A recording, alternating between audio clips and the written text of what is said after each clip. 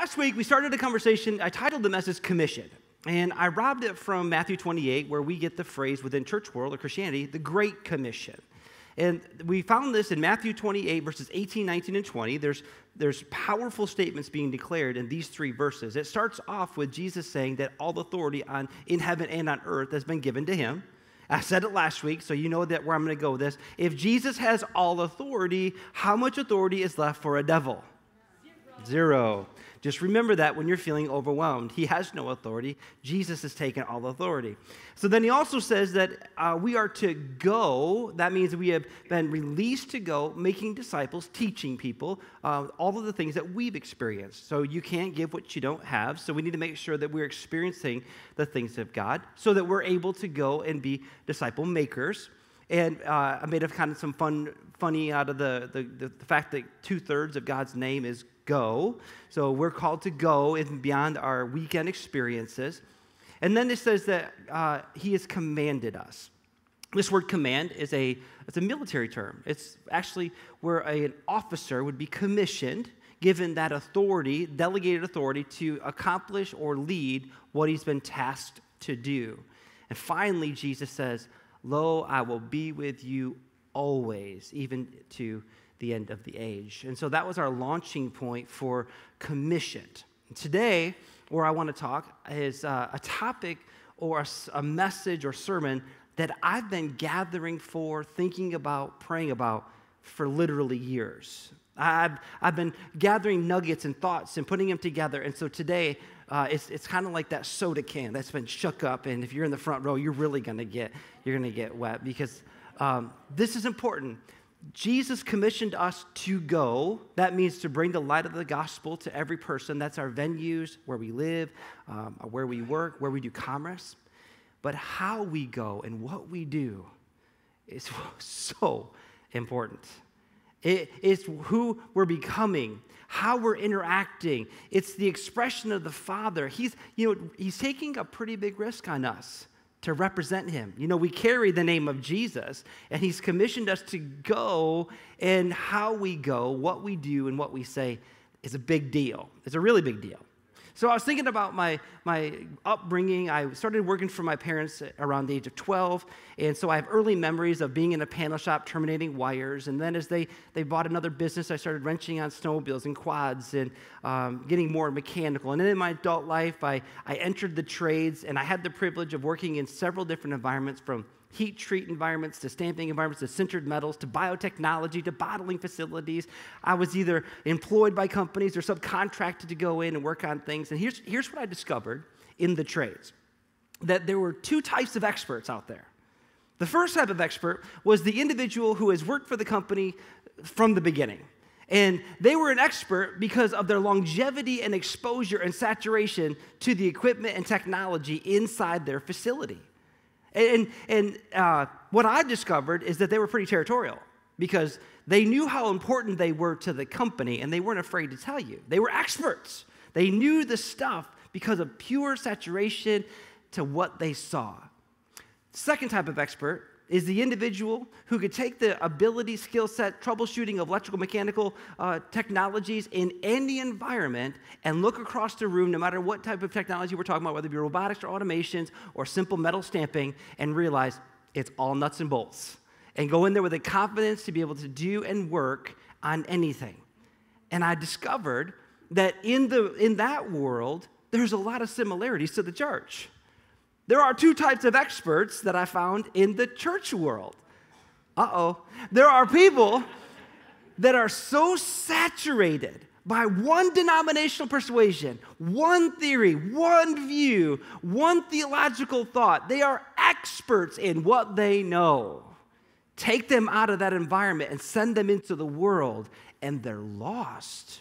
They don't have the, the wherewithal, the words, the communication ability. I'm telling you from experience that I spent nearly 10 years serving with an organization or a, a denomination that we were told by our leaders don't even read materials outside of our group because it'll just confuse you. And then I just facilitated that too. I told people that I was leading, hey, you don't want to read anything outside of our group. You, you, you really don't want to listen to that preacher or listen to her because if their church was growing, we, we, were, we, didn't, we wouldn't have used these words, but here's the reality. We were insecure, and so we had to find out reasons why they were quote unquote watering it down. They, they must be that seeker sensitive church. That, that's why they're growing. Can I just, let me just talk on that just for a moment. I didn't say this the other services. What's so wrong about being seeker sensitive? just in the purity of the statement, we're actually being sensitive to those who are seeking the things of God? Is that wrong? Now, listen, don't catch me in the, in the commentary afterwards. I know what they mean when they say it. Okay, I get that. But don't just take a phrase and not break it down for a moment. I want to be sensitive and use words. I want to use conversations that no matter where you came from today, whether you are a lifelong church attending Christian or you've come in here and you're nervous as all get out because you have no idea what these people are going to do. You have no idea what that guy on the platform is going to say. I, I could pull out all my fancy seminary words and I might sound super smart, at least to myself, right? but if I'm not effective, what good is any of that? And so I'm going to tell you one of my biggest challenges, church, with dealing with Christians are people that are closed minded closed minded. And if that's you, please don't, don't tune me out yet. My, my prayer for you all week is that I was going to persuade you to be open minded tonight. To be closed minded means that we've only focused on one thing. We, we get a box going and we know the inside of the box so well. And if we're not careful, we, I've drifted into this space that if you didn't think like, believe just like I did, not only were you wrong and I was right, I was going so far as calling people heretics. And I've, I, I've since, you know, reaped some of what I sowed because I remember sitting with a family after they heard me say one statement, one soundbite, without ever asking any more details. They came to me after church. Actually, they, they made an appointment and they said, Pastor Phil, um, I heard you say this, and I've never heard that taught before, and I don't believe that, so we're not going to attend here anymore. And so I'm like, well, hold, hold the phone. That's, that's okay that we don't see eye to eye. Let me ask you, please, what do you believe? What have you studied? What have you, what have you seen? I'd love to have a conversation about that. And the reality is they hadn't. They hadn't studied anything else. It wasn't that they didn't believe it, they just have never been exposed to something new. And my journey as a pastor, no, let me take that back. My journey as a Christian has been just loaded with curiosity, asking questions, being open minded. And so when you become a certain way, uh, you tend to think that everybody's going to be a certain way. Everybody's going to be okay having conversations and being tactful and being humble and not being mean spirited. But it's just not, not true. So here, here's my, my opening statement. Once we have a fixed mindset, we stop studying to learn and only look for proof to protect our belief. At some point, we've all done that, okay? I know I've thrown myself into the category. I've done it. And I'm probably doing it in some areas of my life right now that I'm not even aware of. But I just, I want to say it again. Once we have a fixed mindset, we stop studying to learn and only look for proof to protect what we already believe.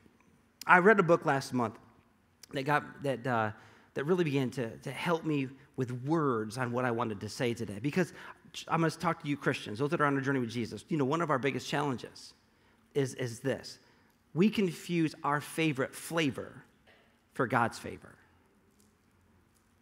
You, you've got your preference. If it were up to you, there'd be a certain song every week, right? If it were up to you, there'd be a certain time frame that that long-winded preacher would, would cut it off. Uh, or, or your particular pet theory, your philosophy, your theology, we've all got them. Be very careful to confuse your favorite flavor for God's favor on your life. I read this book, I'm gonna go back into this. The book title was Think Again. I don't always mention the books that I read just because there's a lot of them. Um, I did have somebody ask me yesterday walking out if I would give my top 10 books uh, recommendations, and uh, I, would be glad to do that. In fact, I'm going to make time on, on the morning to write those down if you're ever curious about what I'm reading. Just, just know it's a wide variety, okay? But anyway, Adam Grant wrote this book called Think Again. And what, what I thought was entertaining was the, the, I love when intellectual people can say smart things without making me feel dumb. That, you know what I mean by that? So he's got this great depth of research. And one of the subtitles in one of the chapters, it said, uh, A preacher, prosecutor, politician, and a scientist walk into your mind. And I'm like, what? Because I've done one of those, like a rabbi, a priest, and someone walk into a bar. You know, kind of like that's kind of what he was playing on. So the subtitle was a preacher, prosecutor, politician, and a scientist walk into your mind. And what he was doing is he was using that to describe the frame of minds that we enter into or our modes of thinking.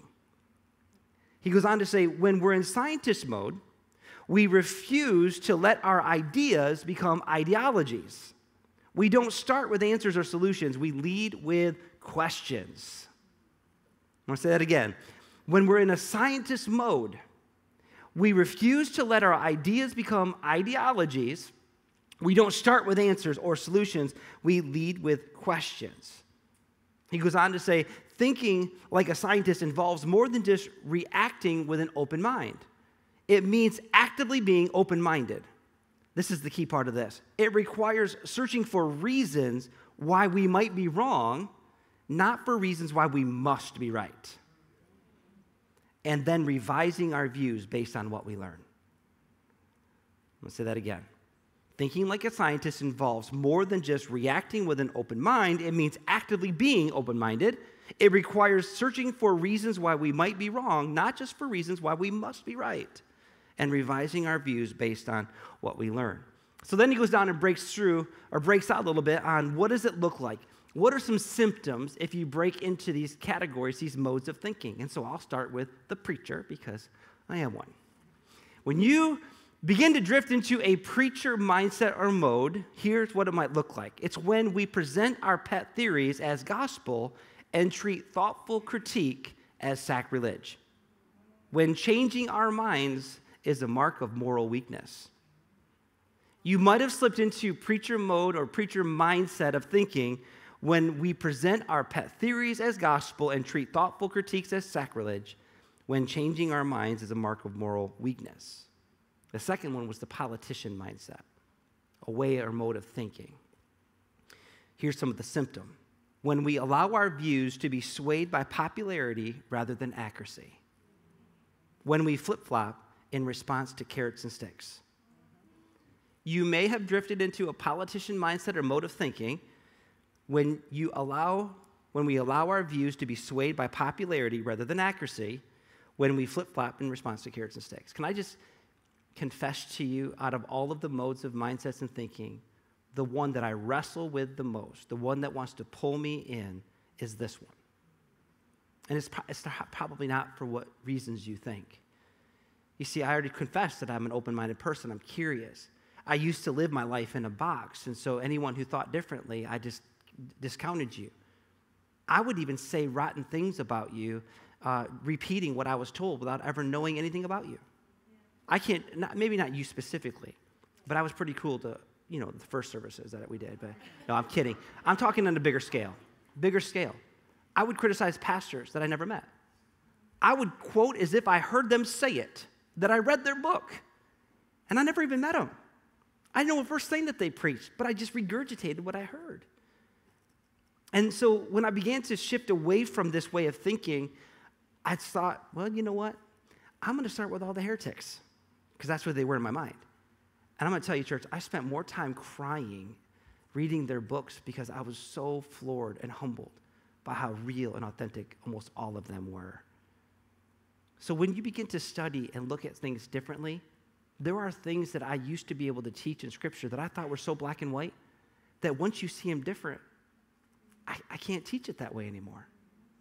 And here's the real challenge this is the, the confession part for me. The battle that I have is mainstream Christianity, the popular uh, opinions on certain things, aren't always that accurate. And I know that if I speak or teach or preach on something that's outside of popularity, I run the risk of people leaving. I run the risk of people rejecting me, saying bad things about me, not even having conversations with me, not finding out what they see or what they think or what they've been studying you know, and, and take it even to another level. I mean, this is my livelihood. So it's so tempting to stay in a safe spot. I don't know if any of you can, can, can, relate to anything that I just said, but I'm just being real with you. The third one, the third mindset, the mode of thinking that you might have slipped into is that prosecutor mindset. It's when you're bent on debunking and discrediting rather than discovering. If being persuaded feels like admitting defeat, you might have slipped into that prosecutor mindset when you're bent on debunking and discrediting rather than discovering if being persuaded feels like admitting that you're defeated. Our culture, church, our heritage comes through the, the Hebrew culture. And I want to submit to you today that the Hebrew culture, the Hebrew way, is the scientist mode of thinking. Rabbi uh, Jonathan Sacks said this Judaism is the rarest of phenomenon. It's a faith based on asking questions, and sometimes deep and difficult ones that seem to shake the very foundations of faith itself. He goes on to say Judaism is not a religion of blind obedience. Instead, astonishingly, in a, religious of, a religion of 613 commandments, there is no Hebrew word that means, quote unquote, to obey. When Hebrew was revived as a living language in the 19th century, and there was a need for a verb meaning to obey, it had to be borrowed from the Aramaic language, a word uh, pronounced lel teset. Instead of a word meaning to obey, the Torah uses the verb shema or shama, untranslated into English because it means to listen, to hear, to understand, to internalize, and finally, to respond. It's the Hebrew way, it's the rabbi way of asking questions. As I mentioned, I started this, this series, uh, The Great Commission. I'm calling it Commission. And I based it off from where we get that phrase, Matthew 28, 18, 19, and 20. Interestingly enough, though, the preceding verses up to that encounter reveal something that I think that we, we need to, to, to look at. Look at Matthew 28, 16, and 17. Then the 11 disciples. Judas is gone. These are the 11 that traveled with Jesus. This is his, his ministry team. The 11 disciples went to Galilee to the mountain where Jesus had told them to go. When they saw him, they worshiped him, but some, some what? Doubted. Say what? The 11 that spent years, day in, day out, seeing all the miracles, seeing everything that had happened, seeing Jesus crucified, then seeing him resurrected, these 11 came, some worshiped and some doubted. I'm going to say this. It is my opinion that doubt, note for sure, is your greatest enemy. As a believer, as a Christian, as someone who's following Jesus, doubt is absolutely your biggest enemy. It's not the Satan, it's doubt and unbelief. It's what we wrestle through. But I've also discovered this doubt has often been my friend. Why would I say that? Because simply this sometimes doubt is a doorway to a better faith. Maybe you're, maybe you're right now, you're wrestling with some things. You're, you're questioning, and it feels like doubt. And we've not done a good job in church world, and we pastors have not done a great job of encouraging you to, to push back a little bit. There's some of the most insecure people on the planet are preachers. Meaning that we, we want to be able to feel like we know the stuff. And if someone asks a question, they can feel like you're threatening my knowledge or you're, you're threatening what, I, what I'm trying to accomplish here. And I just say this I welcome questions. Just do so with tact, do so with humility. And also let me ask you questions. I don't want to be interrogated any more than you want to be interrogated. But if there's something that's said, something that doesn't sound just right, if there's a tradition that you're now questioning, if you're wondering as you look at the fruit of something that we've been teaching for years or centuries and it's not working out, maybe that doubt is leading you to some better investigation, a better kind of faith and experience. That's been my journey. It's been my journey of, of, of asking why and where did we get this? Is there even scripture around that? How did this begin and how old is this thought? How long have Christians been pursuing this? Did the early church, did Jesus talk about this? Did the, the, is there any history that helps us to understand? These lead to a very authentic Christian experience. The rabbi tradition, as I mentioned, is a one established, celebrated on questions. When a young person was finishing the Bet Talmud, which is the, the, the, the study of the book, and they were getting qualified whether they were going to go into the, to the, the ministry, a rabbi would come and start drilling them with questions.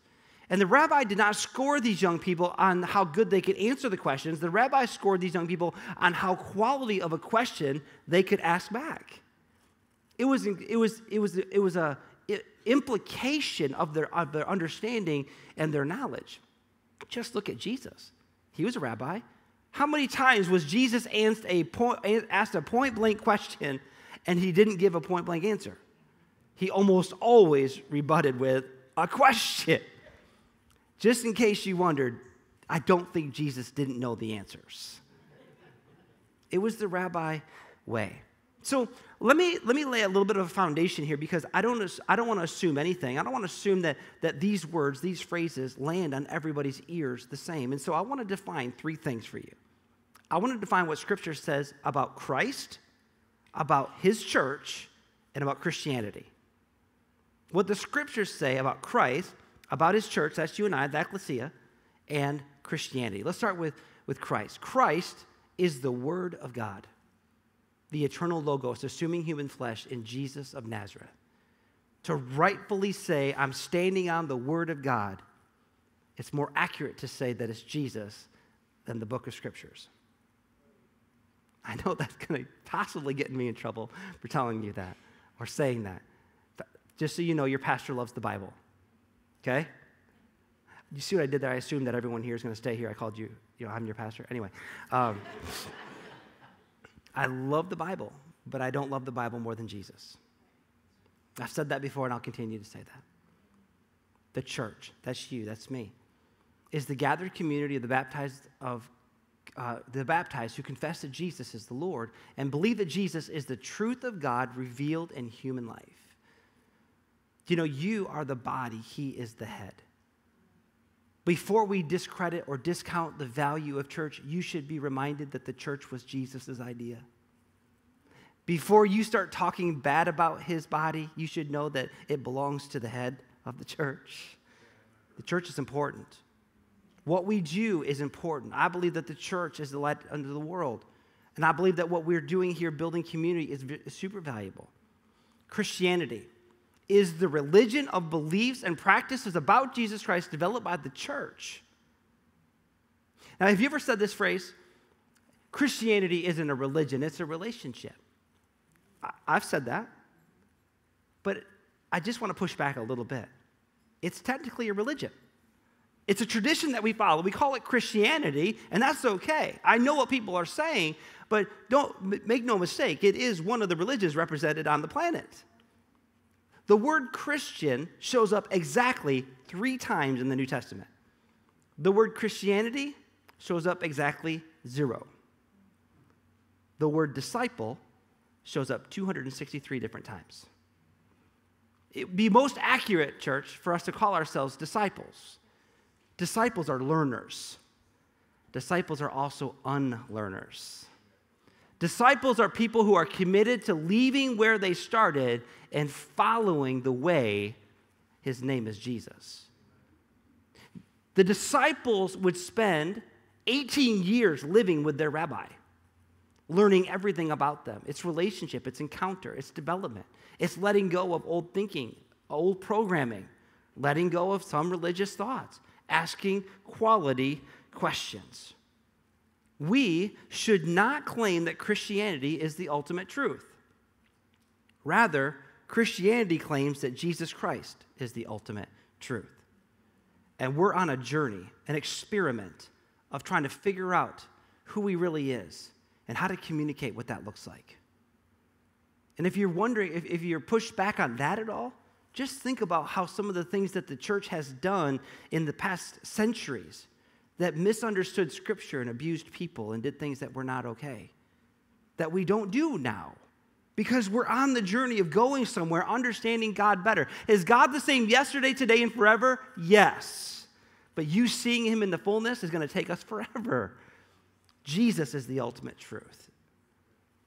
Paul gives us a master class on what does it look like to interact with people in a mixed culture.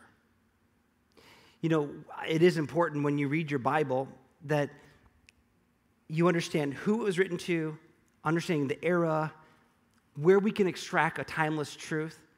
But in this particular encounter, Paul gives us a, a real close uh, experience to what I think it looks like to be commissioned into a culture that doesn't think like or believe just like us. In Acts chapter 17, beginning in verse number 18, philosophers of the teachings of Epicurus and others called Stoics debated with Paul. So, Epicurus was a Greek philosopher who espoused a radical materialism, uh, espoused to a radical materialism that claimed that people should live for pleasure and material gain. Kind of sounds like today, right? That the, the, the, the, common theme in, in, in the world, especially in the Western world, is all about pleasure and material gain. I think we can relate. The Stoics were are people who believed that humans can only reach their full potential by reason, principle, and intellect. Strike two.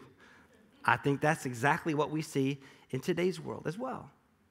The opening verse here says that they debated with Paul.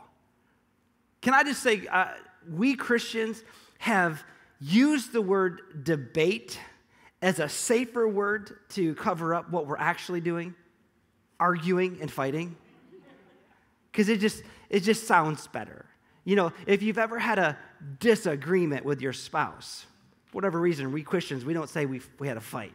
Oh no we had a disagreement. All right praise the lord. Sometimes my wife and i we have fights my point is this don't leave here thinking that we have brawls, okay? We're not, not that. I'm just saying, trying to be real. It says that he debated with them. Do you know there's a difference between debating and arguing and fighting? If you argue and fight with somebody, the end result, someone has to win and someone has to lose. Would you agree? But if we're going to go into a debate, a conversation, it's not about me winning or losing. It's not about me waiting for you to stop talking so that I can just prove my point. Debating puts the issue in the middle, and we listen and we observe and we share and we honor. And sometimes you, you find that you still stand where you, what you thought on to begin with, and other times, hmm, they might be right. The word here, debate, or debated in the Aramaic language, it means to wrestle with words. Church, we wrestle with words, not with people. Okay, let's keep reading. It says, When they heard him speak about Jesus and his resurrection, they said, What strange ideas is this babbler trying to present? Others said, He's peddling some kind of foreign religion. Now, they didn't have social media in Paul's day, as far as I can tell. And I still see this human condition. When someone hears something new, there's a, there's a, an, a tendency, when it sounds foreign, it sounds different, maybe even, maybe we wouldn't use the words, but maybe brings conviction. We tend to start with a jab. Has anyone have seen this on social media before? You're just trying to put a nice thought out there. You know, we're just talking real safe stuff, rainbows and unicorn kind of stuff. And you get some joker, some troll that wants to come along and just give you a gut punch on something. This is basically what's happening today. It's what was happening then. So, how does Paul respond? Does he start a fight? No, he doesn't. So, they brought him to uh, brought him for a public dialogue before the leadership council of Athens, known as Areopagus. Now, Areopagus is also known as Mars Hill. It was a council of people overseeing the spiritual atmosphere of Athens. It could best be described as the Greek temple of human thought. The Aramaic here uses the phrase the house of religion. What a real privilege this was that Paul, when he didn't respond to their insults, was invited to have a conversation at the highest level. Tell us, they said, about this new teaching that you're bringing to our city. You're presenting strange and astonishing things to our ears, and we want to know what it all means. Now, it was the favorite pastime of the Athenians and visitors to Athens to discuss the newest ideas and philosophies. So Paul's given his opportunity. So Paul stood in the middle of the leadership council and said, You immoral idiots! oh, it doesn't say that. Respected leaders of Athens. Wow. Paul gave honor not because of what they thought, what they did, or what they thought was honorable. Paul gave honor because he was honorable. When you're given the opportunity to share with people, lead with honor. Amen. Respected leaders of Athens, it's clear to me how extravagant you are in your worship of idols. For as I walked through your city, I was captivated by the many shrines and objects of your worship. I even found an inspiration on one altar that read, To the unknown God. I've come to introduce you to, to this God whom you worship without even knowing anything about him. The true God is the creator of all things. He's the owner and the Lord of the heavenly realm and the earthly realm, and he doesn't live in man made temples. He supplies life and breath and all things to every living being. He doesn't lack a thing that, that we mortals could supply for him, for he has all things and everything he needs. From one man, Adam, he made every man and woman and every race of humanity. And he spread us over the earth. He sets the boundaries of people and nations, determining their appointed time in history. He's done this so that every person would long for God, feel their way to him, and find him for he is the God who is easy to discover. It is through him that we live and function and have our identity, just as your own poets have said, our lineage comes from him. This is a brilliant move because right here, Paul is quoting two of their, their Greek poets, famous ones that they would have known. Can I tell you, church, I have been in living rooms, I've been around kitchen tables, I, have been, I have been in ride alongs in trucks. I've even sat on tractors with some of our local farmers so that I can have conversation and relationship with them. It's interesting when people will ask me questions, or more specifically, ask my children questions. Grace was telling me recently that someone came up to her and said, So, what's it like in your house? Do you guys just pray all the time? we could pray more, but we do other things than pray. It's amazing what, what people would think about me or box me in, and maybe they've boxed you in. And when I've actually experienced some things, maybe I've read some material or authors or listened to people that they know, I know something more than just the Bible. So if we hang out, there's other things that we can talk about. I love talking about scripture. I love talking about Jesus, but we can talk about farming. We can talk about automation. We can talk about fishing. Someone knew where I was going. My point is this if your interaction with somebody, remember, we're called to, to the Great Commission, we're going. Nobody likes to feel like they're being sold something. So if all you know is your, your, your canned answers and your memorized scripts, that's not honoring to people. And it's not interesting. You just want to be heard, you want to convert them and move on. That's not, that's not the methodology of, of, of Jesus. So he quotes these famous Greek philosophers and poets since our lineage can be traced back to God, that original phrase, it actually means in the Aramaic language, since we are offspring of God. Since we are offspring of God or traced back to God, how could you even think that our divine image could be compared to something made of gold, silver, or stone sculpted by man's artwork and clever imagination? In the past, God tolerated our ignorance. Bad choice of words because it really, the, the original language means that he, he doesn't pay it any mind. If you've ever been around a two year old or a three year old, do you really think when they're mad and they say, I hate you, do you think they really hate you? They don't know what they're saying. It's not that God tolerated anything. He just understood the level of our, of our immaturity. He says, God tolerated our ignorance of these things, but now the time of deception has passed away. He commands us all to repent and turn to God. For the appointed day has risen, in which he's going to judge the world in righteousness by the man he has designated.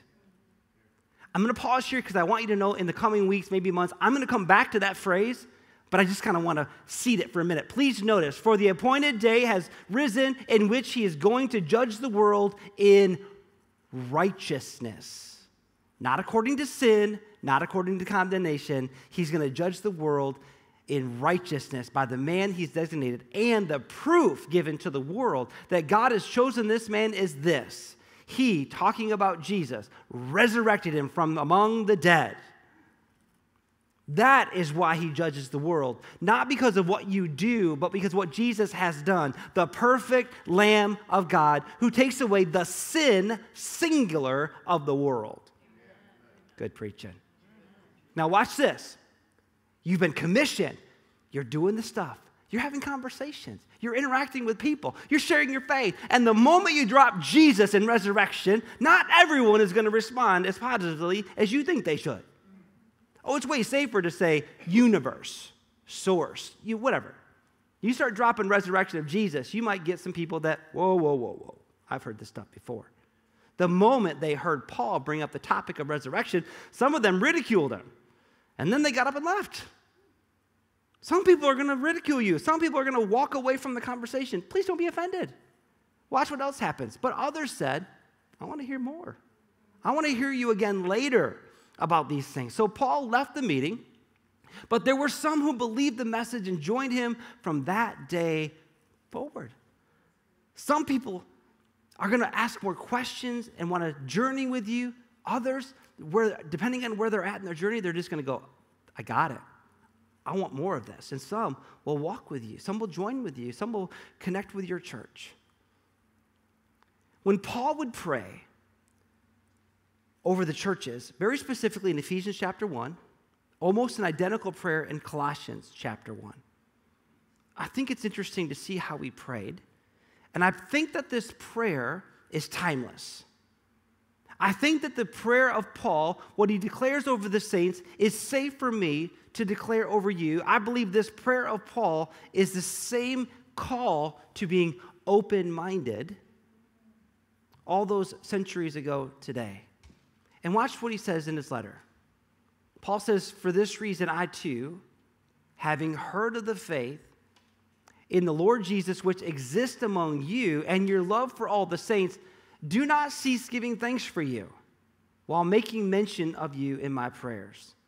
Watch this. Watch how he prays. That the God of our Lord Jesus Christ, Father of glory, may give you the spirit of wisdom and of revelation in the knowledge of him. I pray that the eyes of your heart may be enlightened. One translation says, I pray that the eyes of your heart or your mind would be opened so that you will know what is the hope of his calling, what are the riches of the glory of his inheritance in the saints, and what is the boundless greatness of his power toward us who believe. These are in accordance with the working of the strength of his might. As we talk about the Great Commission, we need to understand that we're going somewhere. What we have, what we carry, is precious. How we conduct ourselves, how we communicate, how we're open minded, even to being malleable, to growing. You don't know everything, Hot Rod. That's my self talk. I don't know everything, but I want to know. And that desire, that hunger, I think will keep us humble. We'll treat people better. We'll well, maybe we'll remember that there was a time in our lives that we didn't see as clear as we see today. And there was some areas that were darkened to us, but now we see it a little better. 1 Peter chapter 4 describes the grace of God as multifaceted, meaning there's more than just one angle. And as you journey, may that grace of God be like that gem that turns and now you see something more beautiful every single time.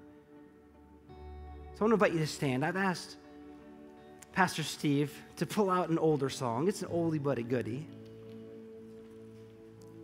Probably familiar with if you've been around Christian music for very long, but as I pray over you and we end with this song of worship, no matter where you're at in your journey today, if you're uh, if you, you're new to it, if you're long in it, I remember sitting with a couple after they attended our church for a few months. It looked like this was going to be home for them, and, and we're talking. They turns out they were lifelong church attending Christians. And at the end of the conversation, I'm sitting in my office. I looked at the gentleman. I said, Sir, my experience tells me that you're not going to make it here. And his eyes got as big as saucers. Why would you say that? And I said, Because it's such an eclectic blend, you can't assume anything. You can't be in a small group. You can't be in the commons. You can't even be sitting next to someone and throw out a statement so definitive that they automatically believe or they've been taught the same thing. That's just not happening here. So we got to be graceful with people where they're at. And if you find, if you're finding yourself like I have been many times in the box, would you humble yourself and say, maybe there's more. Maybe, maybe this whole thing about Jesus is not something to be memorized. It's not, there's no test at the end. It's a relationship. And as we walk with him, we journey with him, may our eyes be opened to who he really is. Today, if you walked in here and you're seeking, and you're wondering, is this real? Believers is a great church, but we're not perfect. But we know the one who is. And we know that if you'll trust him and you walk with him, your life will be changed forever. Father, across this room, it's my prayer that each one of us, no matter where we find ourselves, that this is an atmosphere that's ripe for the miraculous the miracle working power to release our, our shame, our guilt, our past, and to receive your forgiveness and grace. The miracle working power to humble ourselves when we think we've got it all figured out. We're trusting in our own ability and intellect. Open the eyes of our heart that we'd really begin to see you. That this would be a, a supercharged environment that draws us to a place of courage to say yes to Jesus. To release the, the fears, the concerns, the intimidations, release bondages and strongholds, that the renewing breath of the Spirit of God would blow over us, blow on us, and touch us in a very intimate and particular way, each one. That's my prayer in Jesus' name. Amen.